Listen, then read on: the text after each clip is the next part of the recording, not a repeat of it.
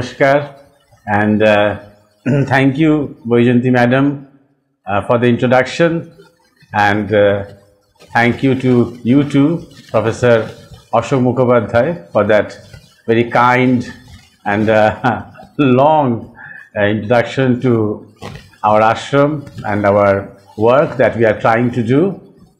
Well, it's a grand occasion for all of us. It's the 75th year of uh, Indian independence.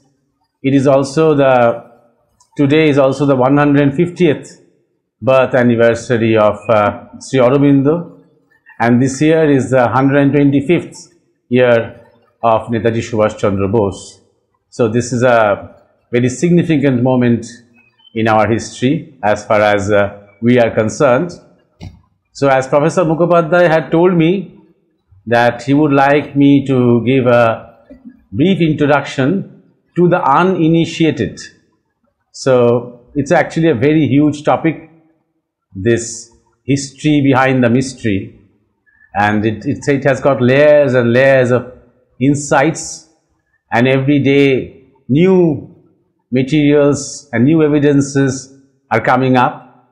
So I'll try my best to confine within the introductory stage and uh, I would uh, start off by talking about the three commissions that uh, you talked about the Shahnawaz Commission, the Khosla Commission and the Mukherjee Commission.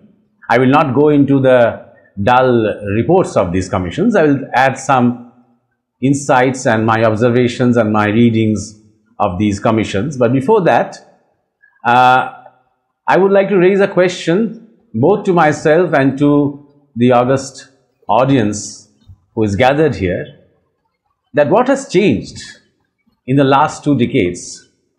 What has really changed in the last 20 years that there seems to be a surge of interest around the disappearance of Netaji Subhash Chandra Bose. During the 80s and 90s, there was also a lot of interest. There were debates in parliament, there were court cases, but it had not really percolated among the public in a way that it has done now.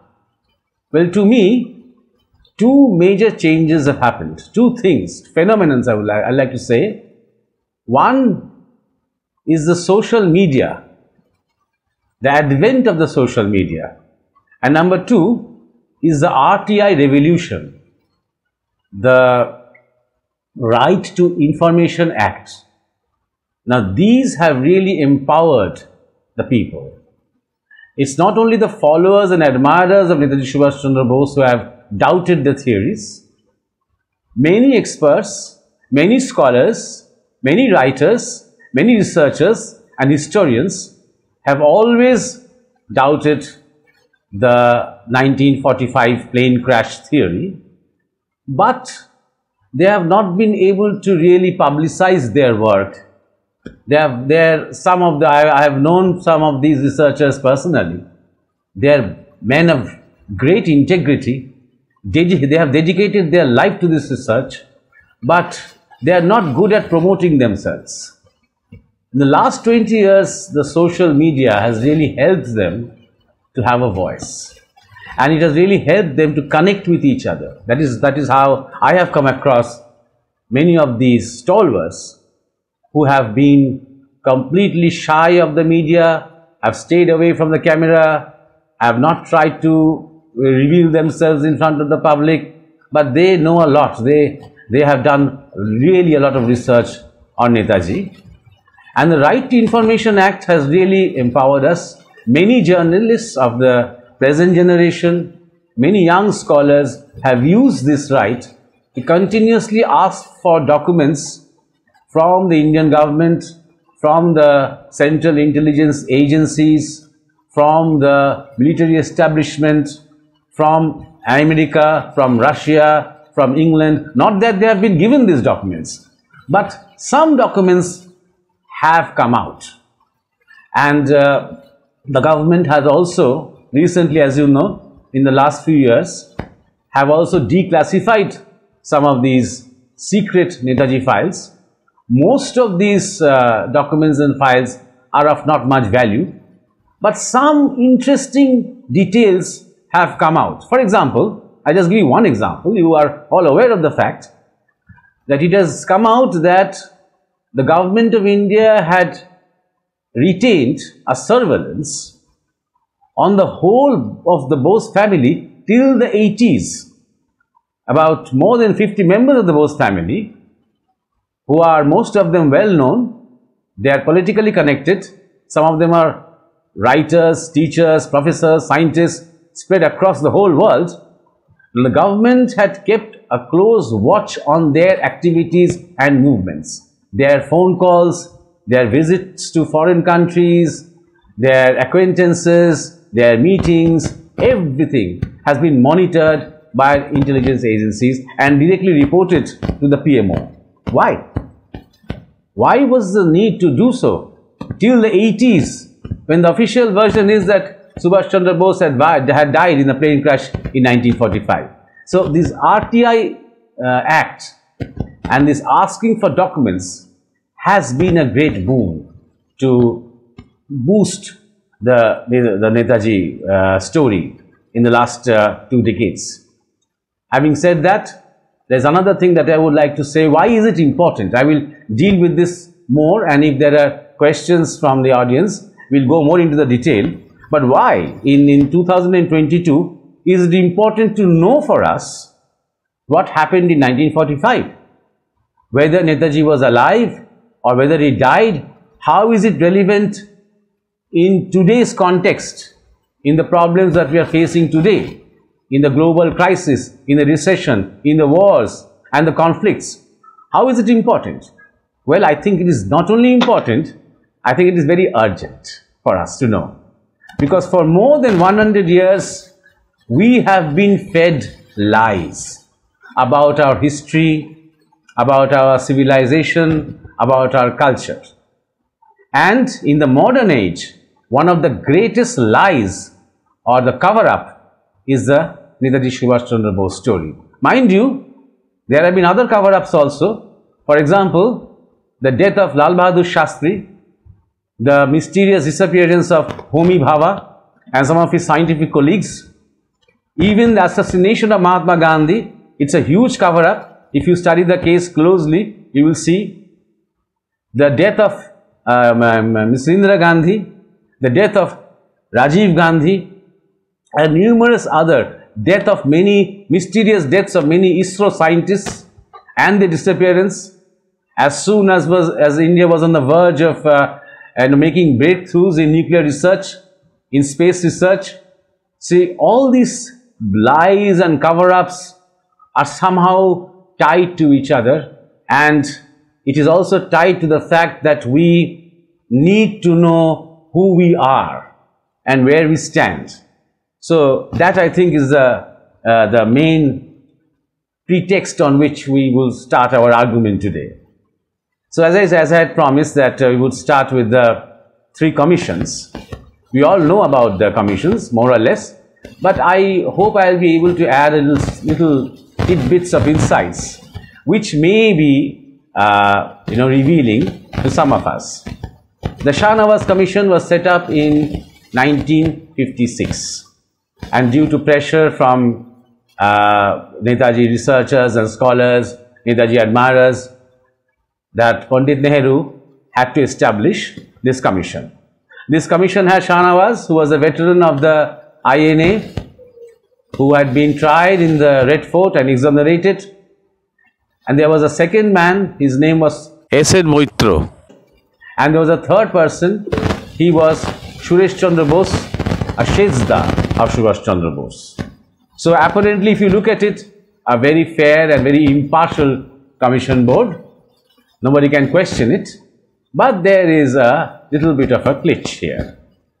Shah Nawaz, who was part of the British Indian Army before, in the beginning, and then he was a prisoner of war and he was stirred by the speeches of Netaji and then he joined the Azad Hind Fauj and uh, after the trial one one that one is not aware of it it is not very much publicized he became a turncoat he publicly professed that he has now discarded Netaji's ideas of independence.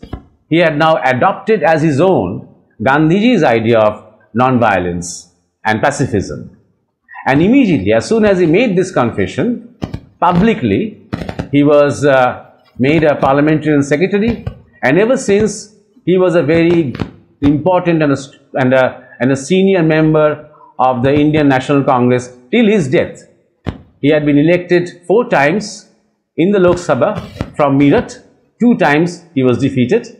So that is one part of Shah Nawaz Khan, one story. Another story is, another part is that his own son had crossed over to Pakistan and had joined the Pakistan army and had fought for Pakistan against India during the Kashmir war. This is another story. So, and is also widely suspected that uh, he had been leaking information while being in the Azad Hind Fauj, while being in the Indian National Army, he had been leaking information to the British Secret Service to make them aware of what Netaji's plans were. So, in fact, Netaji had said that it's unfortunate that I had to be step that, that I had to step into someone else's shoes because the army was almost half formed when he had decided or when he had agreed to take over leadership of that army. So that is one. The Shah Nawaz Commission was given a brief. It's very important to know what that brief, brief was. The brief was that conduct an investigation, make it quick, and do it in such a way that you will conclude that in 1945 Netaji had died in a plane crash. So that was his brief. He had nothing else to do. So from the very beginning, there was a clash between Shah Nawaz Khan and Suresh Chandra Bose. Because Suresh Chandra Bose found a lot of contradictions in the testimony of the witnesses. He was convinced that Subhash Bose was alive. In fact, Sharad Bose, the elder brother of Subhash Chandra Bose, he died in 1950. Till his death, Sharad Bose was convinced because Sharad Bose is an important uh, important uh, member here, an important personality here because during the 40s, Sharad Bose was as powerful in the Congress as Gandhi was. So Sharad Bose had a very big role in the Congress, number one. Number two, he is the only person in the family whom Netaji trusted completely and confided everything. So, if Netaji was alive after 1945, if, if, if, he had, if he had liked to contact anybody, it would be Sharad Bose. Till 1950, when Sharad Bose died, he was convinced, in fact, he had said in an interview that Subhash is alive and is in Red China. That was Sharad Bose. And Suresh Bose also had information that Subhash Bose was alive. So he wanted a more impartial investigation into the matter. But unfortunately, that there was a lot of clash between Shah Nawaz Khan and Suresh Chandra Bose. Finally, the commission ended the investigations and the report was duly submitted, but it was signed by only two of the members of the commission, Suresh Chandra Bose did not agree to sign the commission and the, the report. In fact, as you are well aware, he prepared a dissension report. He, it was his own observations regarding the case. He was convinced that Subhash Bose had not died in the plane crash. And now another, this is, these are interesting insights. This, this will reveal the mystery also Dr. Bidhan Chandra Roy called him. Bidhan Chandra Roy was at that time the Chief Minister of West Bengal. Bidhan Chandra Roy called Suresh Chandra Bose and said rather angrily that what's wrong with you? Why don't you sign the, the Shah Nawaz Commission report? So Suresh Chandra Bose said that because I am convinced that Subhash is alive. How do you know? What proof do you have? He said. And then Suresh Chandra Bose retorted. He said, what proof do you have? that he is dead. Then Bidhan Chandra Roy almost, you know, tried to bribe him in an indirect way that I will make you a governor of two states if you agree to sign this report. And Suresh Chandra Bose refused. And he said that I am preparing a dissension report. Dr. B.C. Roy said, who will publish this report? Suresh Chandra Bose said, I'll find a publisher. Dr. Roy said, you won't find anyone. I'll, I'll ensure that you do not find a publisher. So finally, he did not find a publisher. He had to spend his own money. He was not very rich, unlike other uh, members of the Bose family. So he had to, uh, you know, find his own resources and publish a few copies of the dissension report. So this is the first Shahnawaz Commission report that said that Subhash Chandra Bose had died in the plane crash in uh, near near Taipei in Taiwan. Then obviously the debate continued. People were not convinced and again in 1970 a second commission was established under Mrs. Indira Gandhi. And this commission was headed by G.D. Khosla. G.D. Khosla is another very interesting person. He was the Chief Justice of India at one time. And as you are probably aware, that he is the man who had, uh, who was the judge of Nathuram Godse trial. In fact, he had written a book on that uh, particular trial, on particular case. G.D. Khosla was an Anglophile. He loved wearing ties and jackets and uh, special dress for dinner, special dress for lunch, special dress for morning walks and all that. He was an ICS and he knew Subhash Bose personally, but I'll come to that later. He was a very close friend of Pandit Nehru. They used to play golf together in, in these uh, summer resorts in the mountains. Uh, Nehru used to write preludes for his books and he used to write introductions of Nehru's books. G.D. Khosla also wrote the biography of Indira Gandhi. I think all these details are very important. Know? I want, I'm not commenting, I'm just, I'm giving out you these details. And uh, he was uh, ICS two years or three years senior to Subhash Bose. They had not really talked with each other, but there was a, a incident in which Subhash Bose in, in, in, the, in, in, in England, in the university, he was talking to some of his friends and giving out his patriotic ideals, explaining to them that why he would not take up a job after completing the ICS. And then G.D. Khosla was there and he remarked, and he had remarked that he would like to join the administrative services because that is the way to serve his country. And then Subhash Bose had given him a look, a look of such disdain and disgust that Khosla had never forgotten that look. In fact, he had written in his book that that look had remained with him uh, like a guilt conscience. So all this is very important to understand how biased he was against Subhash Bose. And in that report, after the, uh, the, the investigations were complete and he had satisfied the brief of Mrs. Gandhi, in that report he sort of blurted out these personal grudges and the biases that he had against Subhash. He used the words like he was extremely hot-headed and temperamental and uh, outrageous and he has surrendered to the to these Japanese uh, colonialists and all these things he wrote about Subhash Bose in his report. And he came to the same conclusion that 1945 the plane crash Subhash was dead etc etc and the ashes of the body were in Renkoji temple in Tokyo in Japan now, these two commission and these two reports did not satisfy many of the scholars and historians and political personalities during that time. In fact, after the emergency, when there was a new government in India, a kind of a coalition government of Janata Dal under Mr. Morarji Desai, again people like Samar Guha, and others, they raised these issues in the parliament. And there was a huge debate and very nice, good debate there.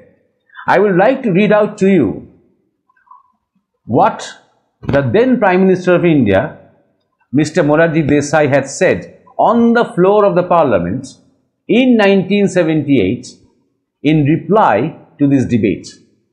He said, the majority report of the first committee and Sri Khosla held the report of the death as true. Since then, reasonable doubts have been cast on the correctness of the conclusions reached in the two reports and various important contradictions in the testimony of witnesses have been noticed. Some further temporary official documentary records have also become available. In the light of those doubts and contradictions and those records, government find it difficult to accept that the earlier conclusions are decisive. So it's uh, from the Prime Minister of India in 1978 that was a point blank dismissal of the two commission reports.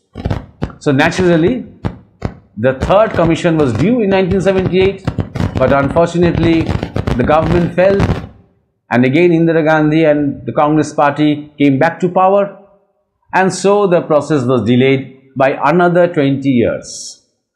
And then a writ petition from the Calcutta High Court made the government decide to have a third commission in 1999 under the NDA government, Atal Bihari Vajpayee, NDA government, 1999, a third commission was established, one-man commission, the Mukherjee Commission, Justice Mukherjee Commission.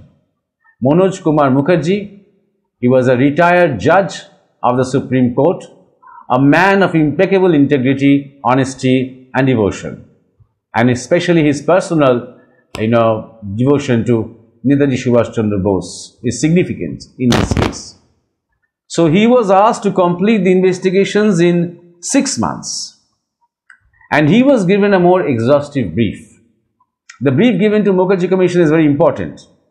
It said, for number one, did Netaji Subhash Chandra die in a plane crash? Number two, are the ashes in the Renkoji temple the ashes of Netaji Subhash Chandra Bose? Number three, if he did not die in the plane crash, where did he go? Number 4. Is Netaji Subhash Chandra Bose still alive? Number 5. If he is still alive, where is he? What about his whereabouts? So these are the five questions that were put to him as part of the brief and he was asked to complete the investigations in six months. It took six years for him to complete the investigation because he said that the, the volume of the task is so big and one had to travel to many countries to find answers to some of the questions. So it was impossible to come up with a report within six months. And number two, total non-cooperation from the government, both from the NDA government and subsequently from the UPA government uh, of Dr. Manmohan Singh and our Home Minister at that time, Shivraj Patil. Complete non-cooperation. Because a commission in order to conduct inquiries needs papers, needs documents, needs information. So they were the whole time they were busy trying to get some documents out from the government and the government was giving uh, busy denying them. 90% of the documents asked for were refused to them. In fact, even when Justice Mukherjee Commission wanted to go to Russia, permission was not granted to them. Because Justice Mukherjee was convinced that Netaji, who had not died in the plane crash, had crossed over to Russia from Manchuria. So, subsequently what happened in the late 40s and the early 50s, is something that only the Russian KGB will be able to tell us. So after repeated wrangling and even this was a big issue in the parliament, a lot of string pulling and the government refusing. Finally, the government allowed the Mukherjee Commission to go to Moscow, but the Mukherjee Commission members, as soon as they arrived in Moscow, as soon as they landed there, when they talked with the first official, they realized that the Indian government had instructed the Russian government not to reveal a single bit of information about Bose to the Mukherjee Commission. So why this hush up?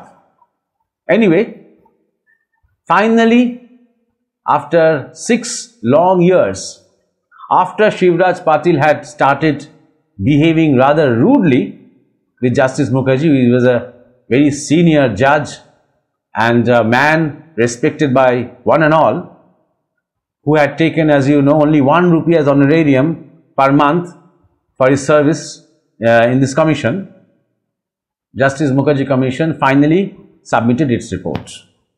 And it said in that report unambiguously that Netaji Subhash Chandra Bose did not die in the plane crash.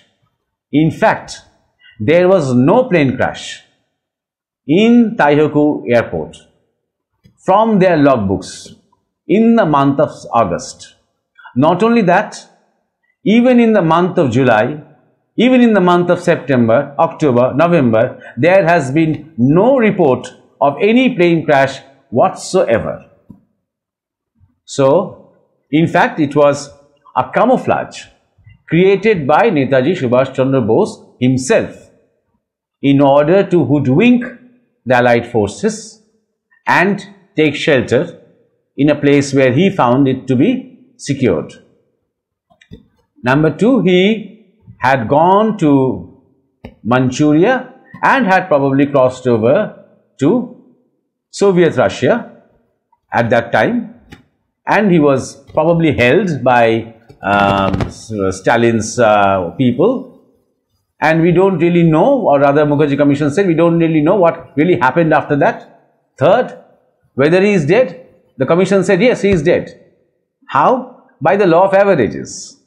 By, by 2006, when the report was being given to the government, Netaji would be around uh, more than 100 years old, 109 years old, in fact.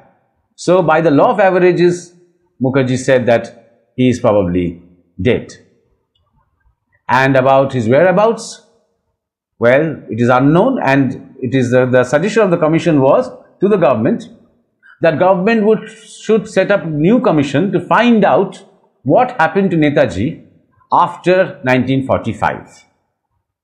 In the meantime, as you know, as everybody knows, there were other stories that were circulating in the media everywhere about one sannyasi or the other.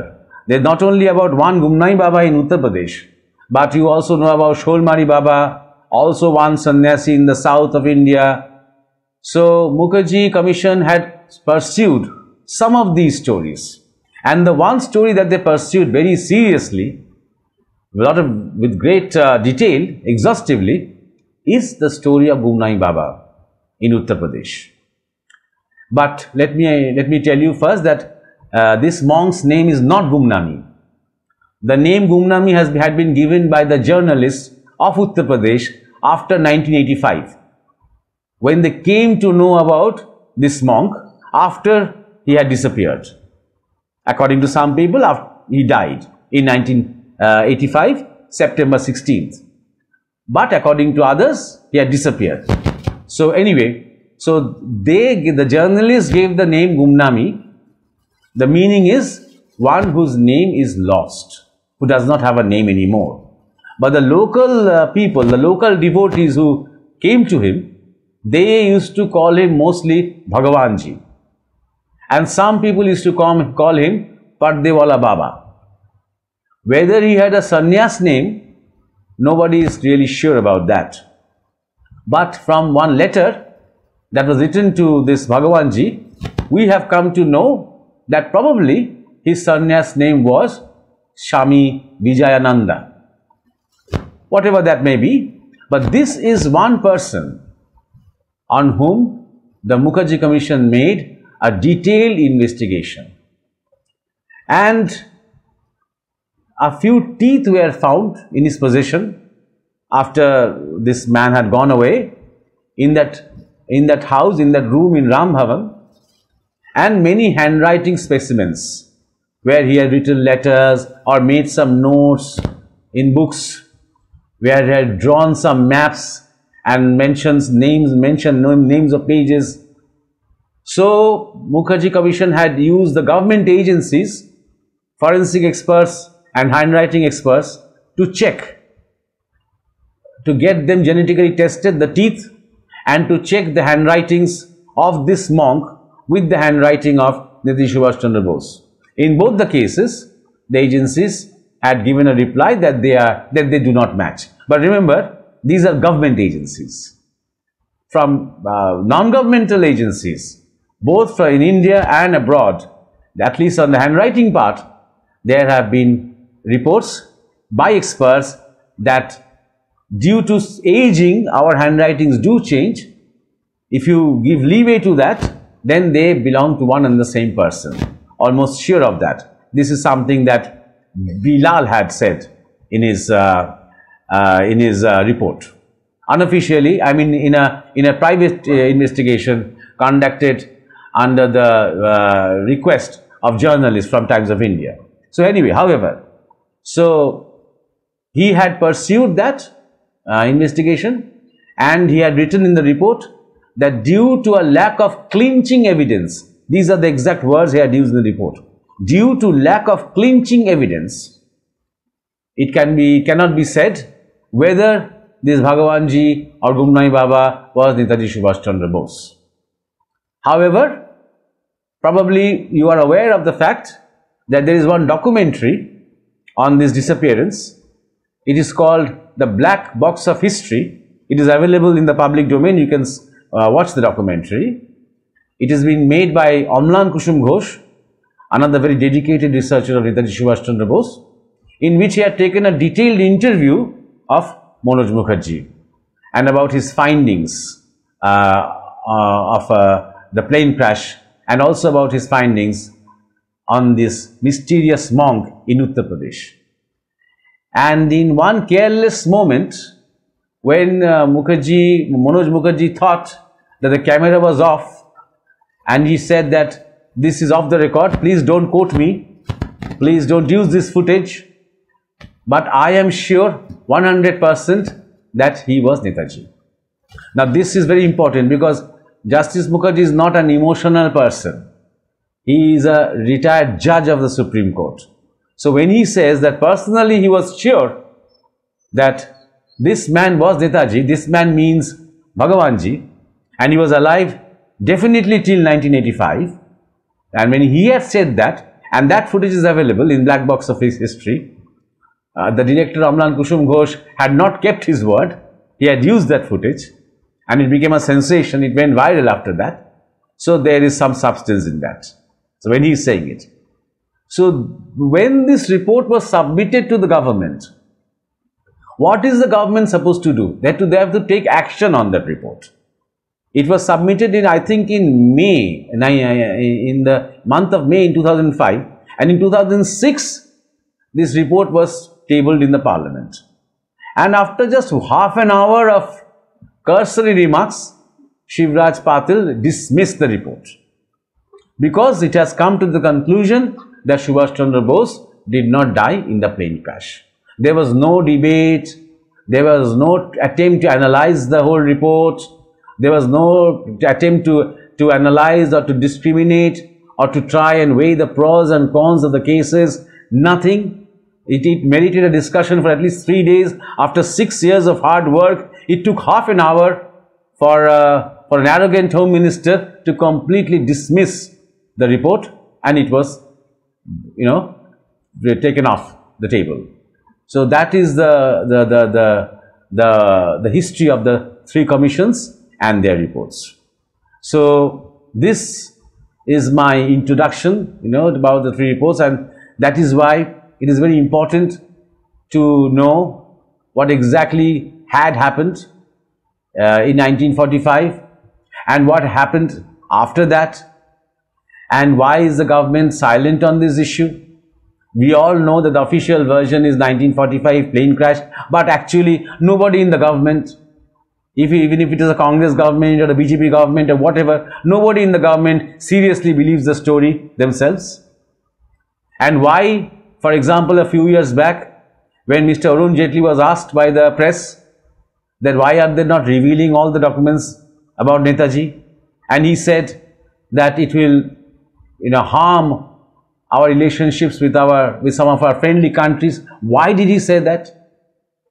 What is the what is the meaning? What is the significance of such a statement? You see, a lot of things happened in the Second World War. You know what atrocities Germany had committed, and yet everybody is now in a friendly uh, uh, relationship with Germany.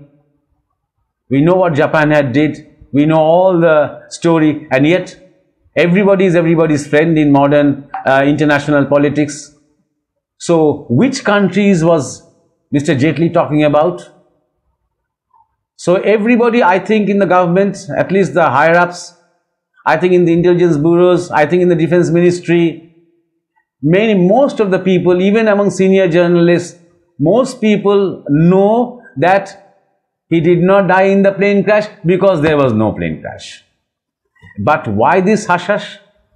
This is more important rather than the plane crash or rather than the fact that Netaji may not have died in 1945. What is more important is the desperate attempt by the government of India and by many other forces and some many foreign forces are also involved in this to keep the matter under the carpet. Number one. Number two is there are certain other things that I want to talk about. For example, many people ask me or ask people are constantly saying this, if he was alive after 1945, why did he not come back to India as himself? I mean, he did. According to the people who believe in the Bhagavanji theory or the Gumnami Baba theory, he did come back to India. Not only that, he stayed for at least 30 years incognito. But why did he not come back to India as himself, as Netaji Subhash Chandra Bose? The simple answer to this is war criminal. Now, was he a war criminal? Is the name of Netaji Subhash Chandra Bose in the list of a war criminal? So far, there is no official record in existence that says that he was. Having said that, so far there is no official record saying that he was not a war criminal. That is also very important. When Shashi Tharoor was working in the UNO, some journalists and researchers had personally asked him, had written to him, telling him that please find out from the archives of the United Nations whether Netaji Subhash Chandra Bose's name is in the list of war criminals. And he, after some research or some attempts, he wrote back saying that it is impossible for us now, the, for the present crop of the United Nations officials, to access these documents about the status of war criminals. So, there is no official, uh, you know, denial also of the fact that he was a war criminal. Number two, as you know, probably, probably you know that Jawaharlal Nehru in a, in a kind of a fit of uh, emotion or anger had dictated, no, dictated a note for a stenographer to type. And the name of the stenographer was Shyamlal Jain. And in that note, it, this is something that Jain had said to G.D. Khosla in the Khosla Commission. He had said that the note was addressed to Clement Attlee, who was the Prime Minister of Britain when India was getting independence, 1947. And he said that your war criminal is now in Russia under Stalin's protection. And how dare Stalin keep him? He should hand him, he should hand him over to you that is the allied forces to, to, to, to Britain to be tried in a case. So, this is another uh, important uh, uh, clue the fact that he may have been a war criminal. And if he was a war criminal, then it is impossible for him to come back in the country. Then the, because we are still a Commonwealth country, and in the 50s, immediately after the transfer of power of 1947, India was more or less under the MI6 and there are numerous instances of that. That is the military intelligence 6 of the British uh, domestic surveillance system. So, in there were compulsions and there is, there are records, there is a document that Netaji Subhash Chandra Bose had made at least three broadcasts, at least three broadcasts after August 1945. Two broadcasts in December and the third broadcast in February 46. And all these broadcasts were from Moscow. Broadcast to the people of India. And he had said in these broadcasts that I am safe and I will return to India as soon as possible a third world war is going to begin any time soon and as soon as it starts, it will be the right time for me to return to my motherland. Now what is the significance of the third world war? The significance is that as soon as the third world war starts, the war criminal status of the first and the second world war becomes nullified. Then you become again free. Then again the the balance of powers are again changing. The equilibriums are changing again. It's a it's an another chaos till the end of the Third World War until one sees who are the victors and who are the demolished, etc., etc. And the new sets and new uh, uh, uh, guidelines will come into being. So, all keeping all this in mind, India was probably under a compulsion that if Netaji was uh, had come back, then the Indian government would have no option, in spite of all the public sentiment, but have no option but to hand him over to the masters. The, there is also a lot of doubt about the transfer of power agreement that took place between the Indian officials and the British officials. There, most of these documents huge volumes of documents of transfer of power are still top secret. They are classified. So, being a Commonwealth country, under these obligations, when a disastrous partition had, happened, and when the, the eyes of the you can say the government or the British spy agencies, the surveillance, were completely on his movements. So I think it was not possible for him Netaji Subhash Chandra Bose to return to India as himself. And it is very important to understand that uh, because, and there also have been, if you assume for example, that Bhagavanji was Netaji Subhash Chandra Bose, there have been numerous instances when his followers, his friends, his devotees had asked him to come out in the open and each time he had said that the country will burn if I do that it will be disastrous. The time is not yet ripe. He had said that. Number one. Number two, many people ask this question, raise this question to us that how can a political person like Netaji Subhash Chandra Bose become a monk and hide in a forest? He, he was never a coward like this. These are very simplistic, moronic kind of arguments. Think of it, I think we should think of it in a sense of strategy.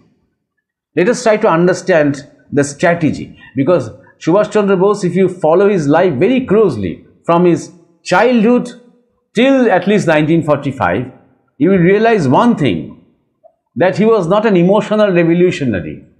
He was just not one of those ambitious careerist politicians.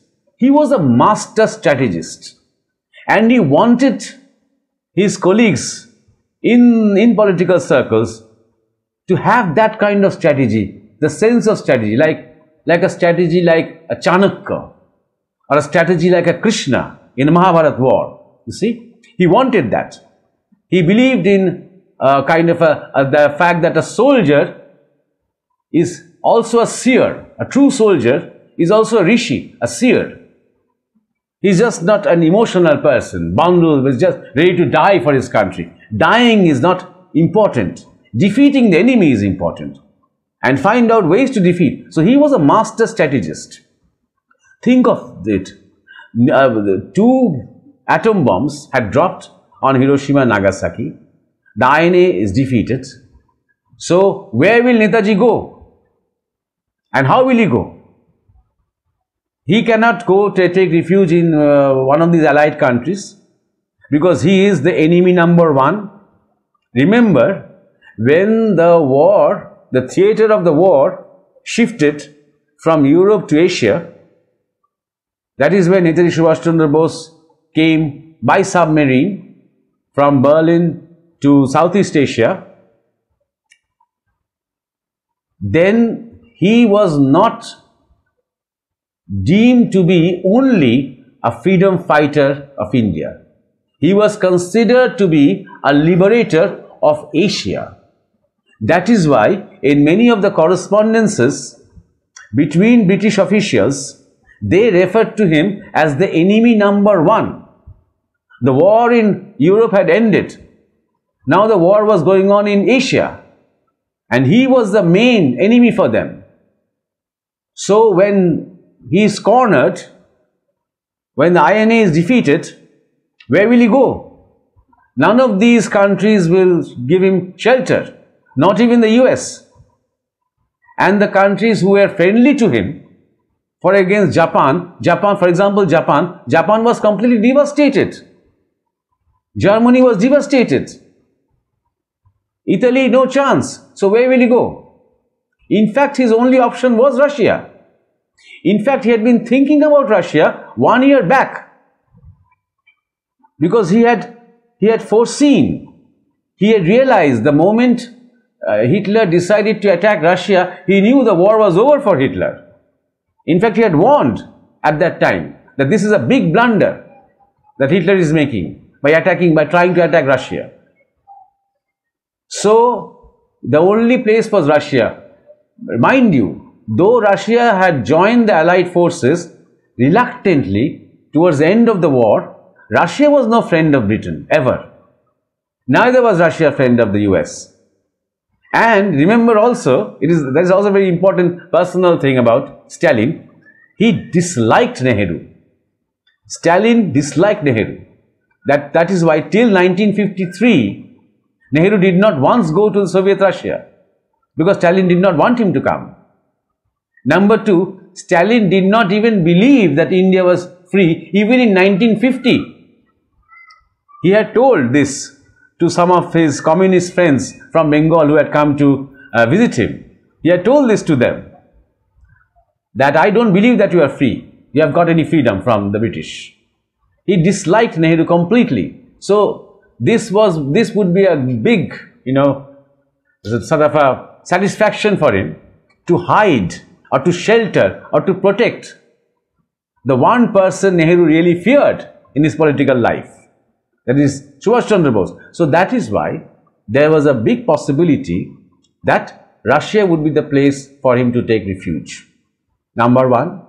Number two, also let me add that after the INA was defeated, Netaji had told his associates in the Azad Hind Fauj that he would surrender himself to the British. Why? It was also a strategy. It was not an emotional decision. He said that way the whole country will be galvanized against the British.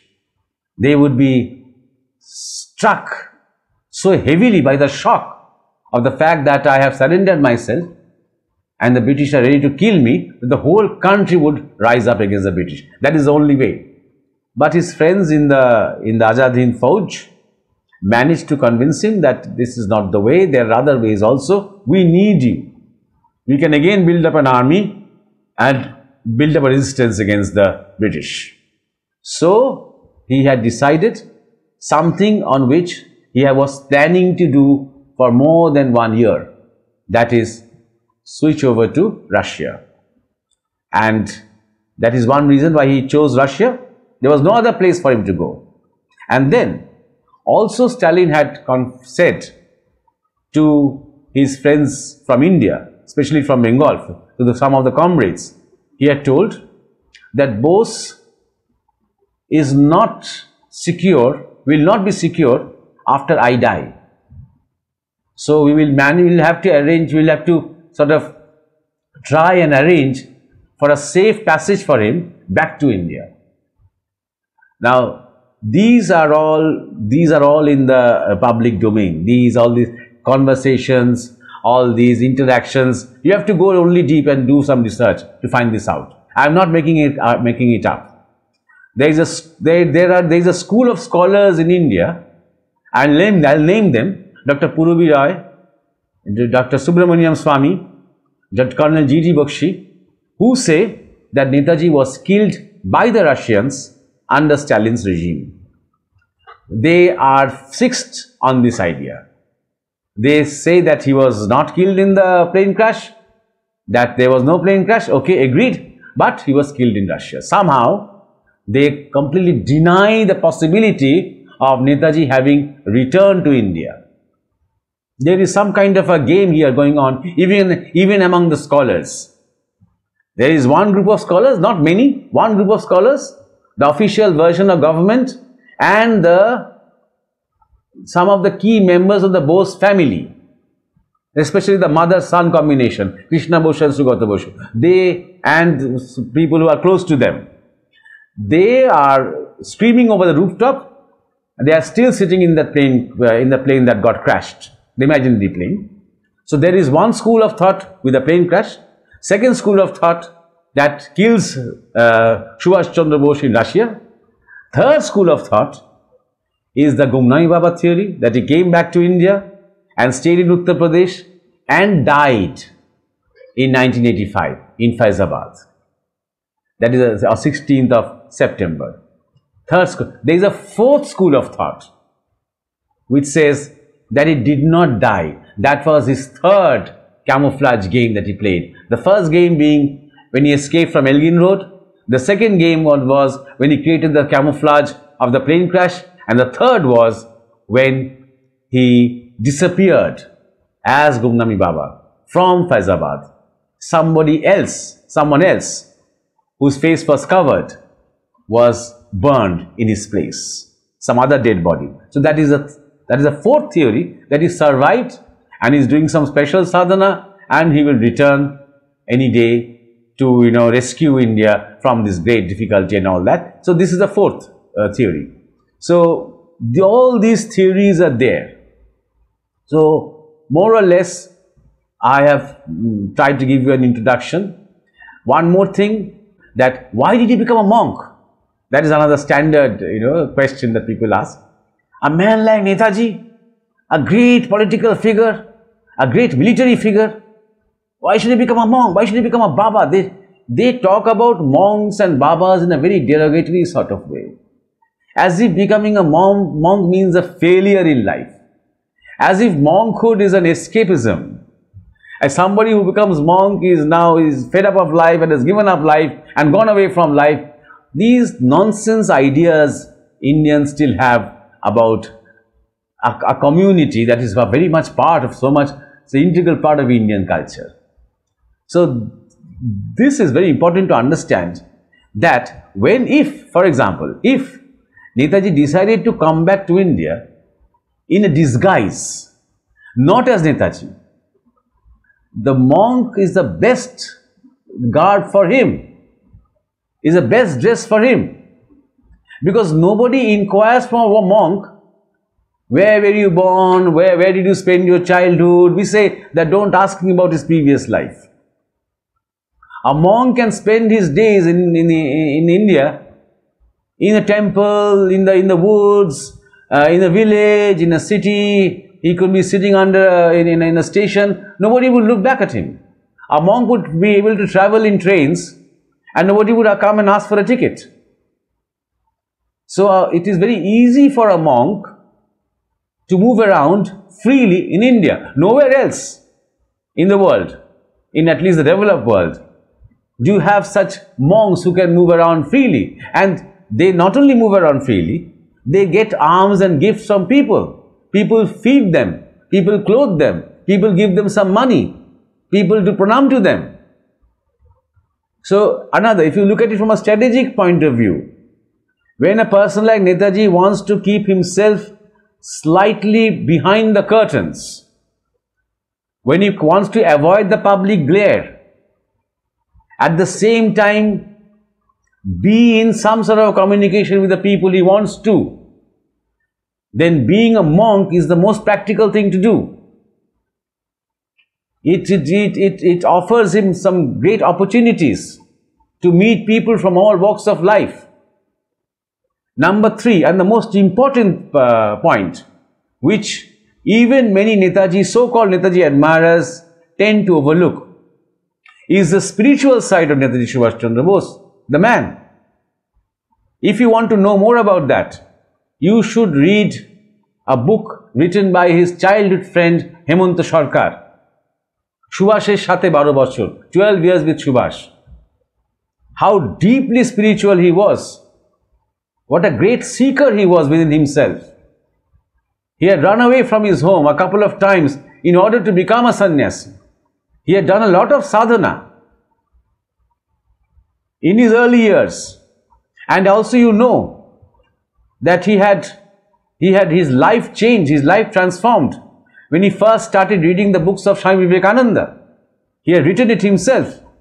At 15, when I started reading Vivekananda, a huge transformation took place within him because finally he found a kind of a meeting ground between his spiritual quest and his ideal for his motherland, his political life. He found a meeting ground where, where life is embracing the problems of the country where life is not running away. And it, it, is, it, is, it is at that time, at, when he was now 18 years old, when he wrote to Hemanta Sarkar, that I feel a kind of a mission within myself. Look at the language of this man. I feel a mission within myself. I have to become the embodiment of the past, a product of the present, and a prophet of the future. This is an 18 year old talking. Just not a political person who wants to be the Prime Minister of India. This is a visionary. And he's laying out, a chalking out a plan for himself. And it is not something that is thinking intellectually. It is something that is rising from within him. He was a deeply, deeply spiritual person. Read some of the letters that he had written to Dilip Kumar Roy, the son of D.L. Roy, who was a disciple of Sri Aurobindo. And you will see how much, how deeply he is thinking about mantra the power of the, the, the, the sound of mantra, how deeply he is trying to meditate, how deeply he is thinking about the role of dharma in the cultural awakening of uh, the Indian ethos, and how it is different from the Western system of education, and what needs to be changed administratively, politically, educationally, when India gets freedom. He is thinking at a very young age. Also, you will be surprised to know that even when he is the supreme commander of the Hind Fauj, he is uh, every night he goes off to the Ramakrishna mission and he uh, takes out, uh, takes away his uh, his military clothes and wears a dhoti and holds a mala and sits in the prayer room, the meditation room and does meditation or chanting or whatever for two hours. Read some of the recollections of some of his close associates in Hind Fauj who said that while he was with us, he was also away from us. He was in some other world. A very silent and introspective person was constantly trying to sort of dig, searching within himself. So, and there are numerous other instances. The way he came and met Baudachar Mujumdar, and the way he met Anandamayi Ma. There are many, many other instances of his sadhana, of his spiritual quest. So, if he had not become a political person, he would have definitely become a sannyasi. It is something that he had told his friend Dilip Kumar Roy many times. Dilip Roy had in, insisted, why don't you come to Pondicherry? Enough of politics. This is, you are not a political person. You are a very talented man. You are a spiritual person. Why didn't you come to Pondicherry? Dilip Kumar Roy had always said, and, he, and Subhash Bose had always replied that, look, I want to, but I know if I go, maybe I won't come back. But I have a commitment to my motherland. So, this is my response to those people who say, how can a person like Subhash Bose, a political figure like Subhash Bose, become a monk? So, first reason is a strategy. He needed to keep himself hidden. And the second reason that a monkhood was ingrained in him. He was within himself a kind of a sannyasi, even in his even in his at home. Though he loved to eat, he loved to dress, at the same time, he was not really attached in the way worldly people are. He was in his own world, always focusing, always concentrating, always organizing, always planning. And now, I mean, this is a some, of, some kind of an introduction. I've been talking for maybe more than one hour. So, uh, but there is another question that maybe if people want to ask questions, I, I, I can respond to that about did he remain completely obscure. While he was in India, Bhagavanji, that is I meant, uh, I mean Bhagavanji, or did he play a role in some of the key events in the world, in globally?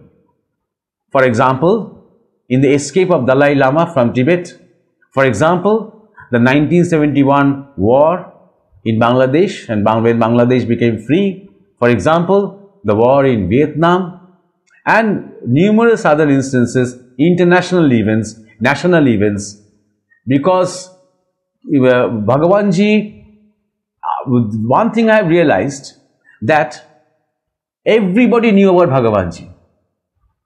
Important politicians knew about Bhagavanji. Important administrative officials knew about Bhagavanji. Top military officials in India knew about Bhagavanji.